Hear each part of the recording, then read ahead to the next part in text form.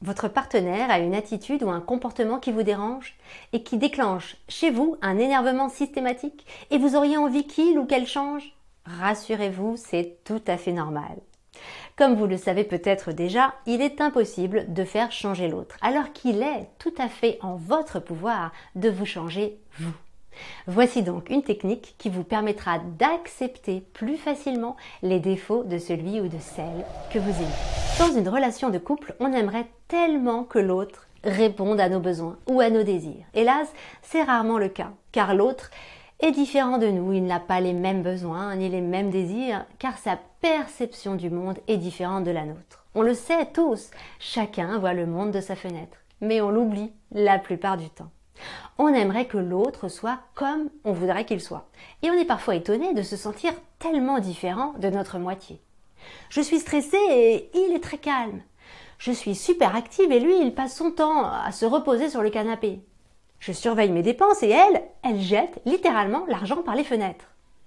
Vous ne comprenez pas comment vous pouvez être sur certains points tellement à l'opposé de l'autre. Alors voici une révélation qui va peut-être vous surprendre. Si un comportement éveille en vous des émotions désagréables, c'est parce que vous ne vous autorisez pas à l'adopter. C'est justement parce que vous faites le contraire de ce qu'il fait que de le voir faire vous énerve.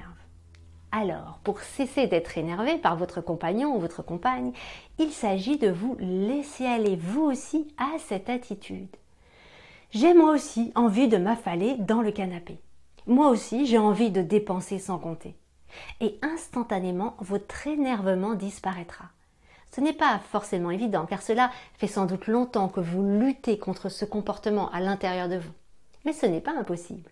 Vous pouvez par exemple décider qu'aujourd'hui, et seulement aujourd'hui, vous allez faire comme votre partenaire, juste pour voir ce que ça donne, juste pour tenter l'expérience, juste pour tester ce que cela vous apporte et vous serez étonné de constater que plus vous vous affalez sur le canapé et plus votre conjoint deviendra actif. Comme si le fait de vous autoriser un changement permettait à l'autre de s'autoriser aussi à changer.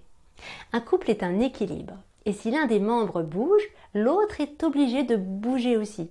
Par contre, si on attend que l'autre fasse le premier pas, on peut attendre longtemps et voir notre frustration grimper en flèche. Alors, autorisez-vous à expérimenter cette attitude qui vous agace, peut-être seulement 5 minutes pour commencer, et observez ce que cela produit à l'intérieur et autour de vous. C'est une technique qui fonctionne aussi avec vos enfants. Si cela vous agace, par exemple, qu'ils ne rangent rien, autorisez-vous à ne rien ranger pendant toute une journée. Sans vous sentir coupable, bien sûr, sinon ce n'est pas du jeu.